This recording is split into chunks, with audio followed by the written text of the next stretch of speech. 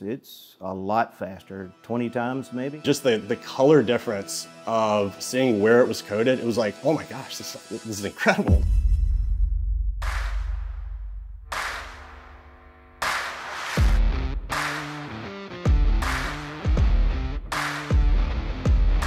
We're at Alcorn State, and it's a historically black college university here in the Mississippi Delta. We knew they were having a problem with their concrete here at the football stadium, specifically around the press box, and they had mentioned something about getting getting it sealed. So today we were using uh, the Prosoco siloxane WB concentrate. We were using uh, a tethered Sherpa, so we had continuous power. And really the purpose of the drone is to, to get that spray wand up to the position where it needs to be.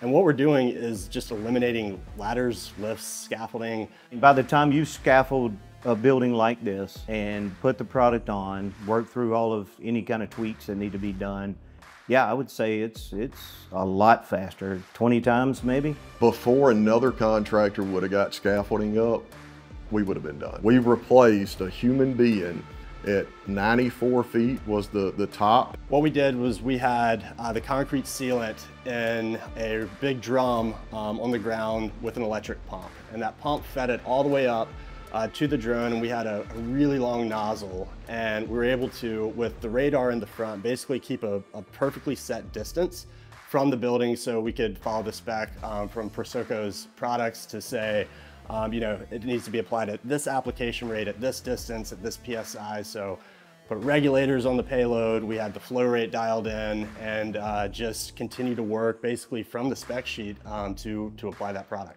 Earlier today, there was a time where it just started pouring.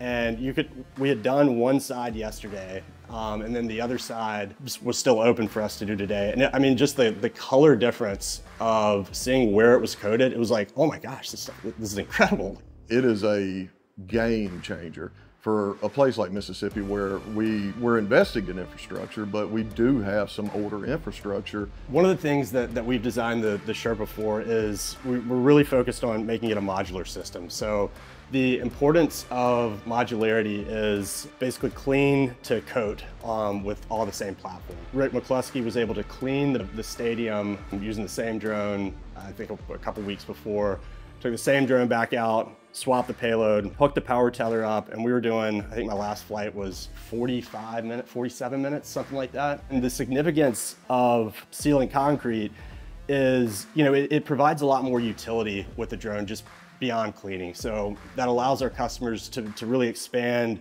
their opportunities and take, you know, again, this, this one platform and use it for a variety of things versus just one narrow use case. It worked out perfectly that Lucid had developed an attachment to the drone that, that made it where we could do it safely and do it quickly.